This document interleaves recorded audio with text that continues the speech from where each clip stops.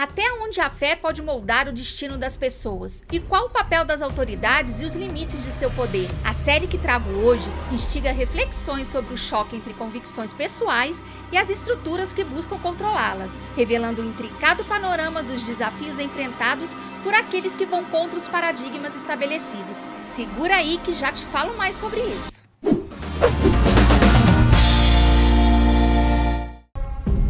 You've looked to me to be your leader, to guide you on this journey.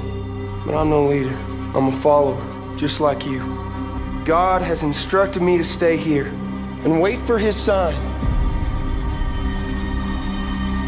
This is our time to prove through suffering that we are worthy of the miracle that's to come.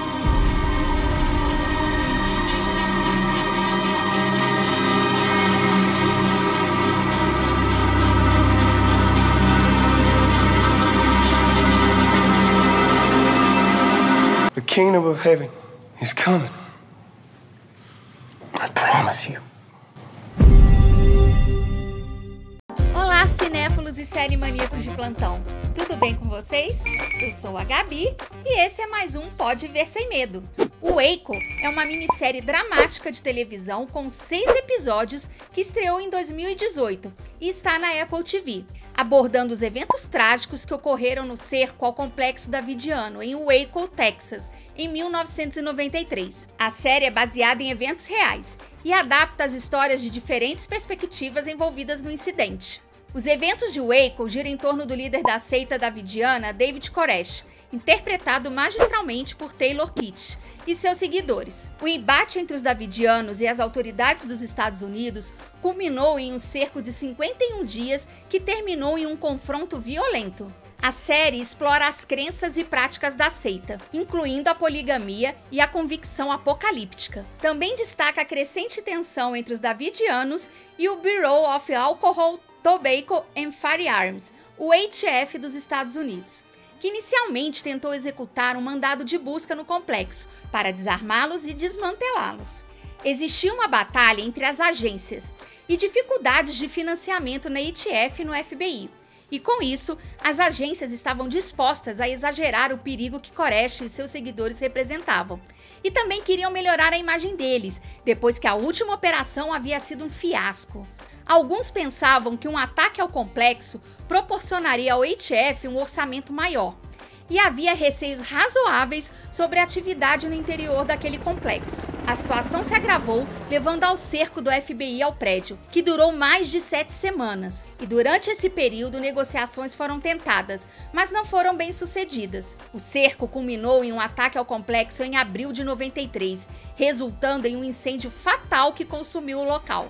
A série Waco destaca os pontos de vista tanto dos davidianos quanto das autoridades federais, oferecendo uma visão mais abrangente desses eventos. Nos dias anteriores ao ser, Koresh é retratado como uma figura amplamente simpática. Ele prega a palavra de Deus, ele faz corridas matinais com os filhos, ele faz as pazes entre os seguidores e recruta educadamente novos membros. Este Koresh pode ser manipulador, mas não há uma forte ênfase nos perigos de suas manipulações aqui. Qualquer pessoa que assista o Waco sentirá muita pena de David Koresh e seus seguidores, mas com base em todos os relatos do que aconteceu antes, durante e depois do cerco de 93 em Waco, Texas, apenas este último merece tanta pena. Deixo aqui uma indicação: o documentário que está na Netflix, O Cerco de Waco, com entrevistas reais, para equilibrar um pouco esse sentimento de pena por Koresh. Não podemos nos esquecer das práticas ilegais que eram cometidas por ele, dormindo com meninas menores de idade, mesmo que com a autorização dos pais.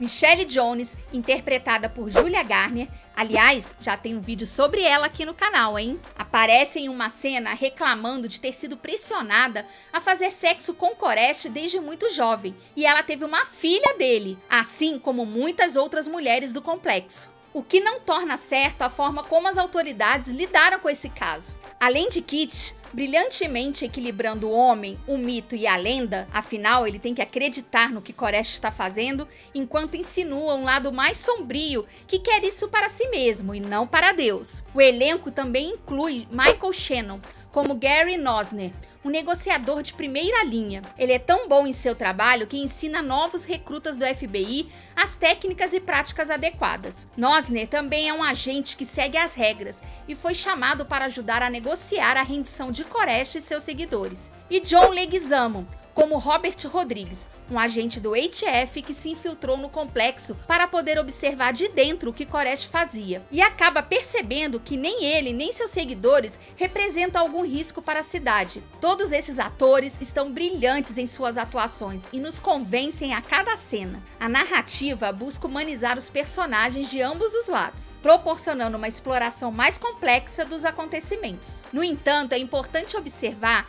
que, como qualquer adaptação de eventos históricos, o Eiko pode tomar algumas liberdades dramáticas para criar uma narrativa mais envolvente. Muito do material que vemos foi baseado nos relatos de um sobrevivente do ramo davidiano, David Thibodeau, que foi interpretado por Rory Calkin, que mais tarde teve que casar com Michelle para encobrir o fato dela ter tido uma filha com Koresh ainda menor de idade. A série recebeu críticas mistas com elogios por suas performances e críticas por suas interpretações dos eventos reais. Fato é que a série expõe um erro monstruoso das autoridades, que acabou com 82 vidas inocentes. E se você gosta de histórias baseadas em fatos reais, essa aqui é uma que você pode ver sem medo. E você, já conhecia essa história? Comenta aqui embaixo se já assistiu ou pretende assistir. E por hoje é só. Se gostou deste vídeo, deixa seu like, se inscreve aqui no canal se ainda não é inscrito e ativa o sininho para receber o aviso dos próximos vídeos. Ah, e não deixa de visitar meu blog, que está cheio de notícias do que está por vir. E até a próxima!